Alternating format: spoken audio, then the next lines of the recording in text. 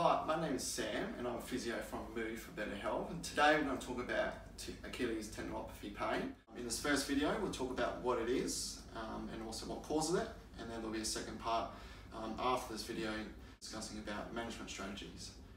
So Achilles tendinopathy um, is pain localised to the Achilles tendon. So the Achilles tendon provides attachment for your calf muscles and inserts onto your heel bone.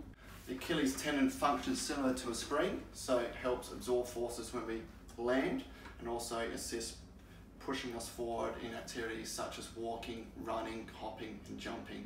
Um, you may feel pain that's localised in the mid part or at its insertion and you may also notice a bit of tendon swelling or thickening in these areas.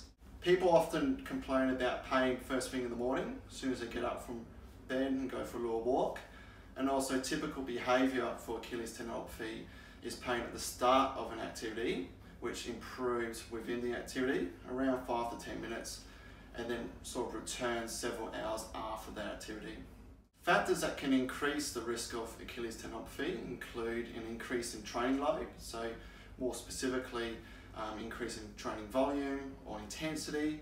Um, however, other factors such as um, change in footwear, training surface, previous lower body injuries, um, and other physical factors such as running technique and poor leg strength and calf strength and poor ankle and foot mobility may also increase your risk.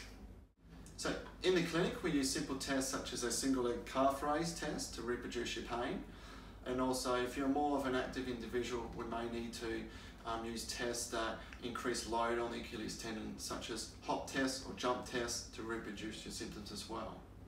It's important that we reproduce your pain um, in this situation so we know that the Achilles tendon is the source of your symptoms and also this helps to guide our initial management strategies which we'll talk about in the next video.